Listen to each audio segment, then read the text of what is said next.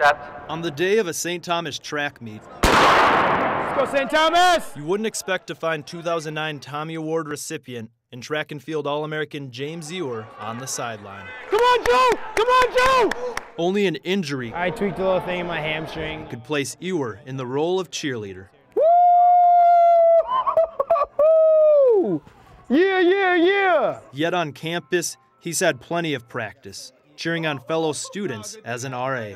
I definitely see myself in a, in a strong and a very important role within St. Thomas. Having that presence on campus, being able to facilitate, you know, a group of guys coming together as a community. Ewer has built communities in his first two years as a Brady Hall RA and now in Ireland Hall. I love the fact that there's a group of gentlemen that can come and talk to me virtually about anything. My door's always open, whether they want to go grab some food at the grill, listen to some music, watch some TV, play video games. And Ewer keeps his door open to the entire St. Thomas community. Serving students smoothies in the pit stop, That's a good choice. making his voice heard in the front row of basketball games, and setting the standard for motivation.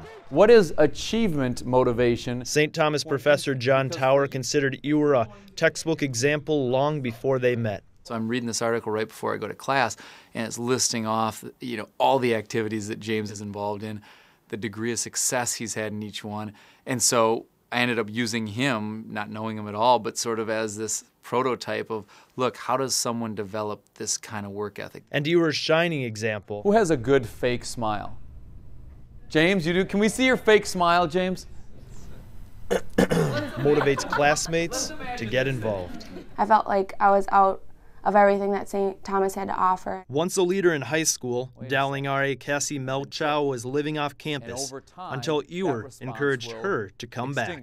Well, I don't know if he really knows this yet, but I really don't think I would have like had that motivation to be an RA. Like I really needed somebody up here who was actually in the job, showing a little bit of faith in me. His desire to serve led Ewer beyond campus to Guatemala and White Earth, Minnesota.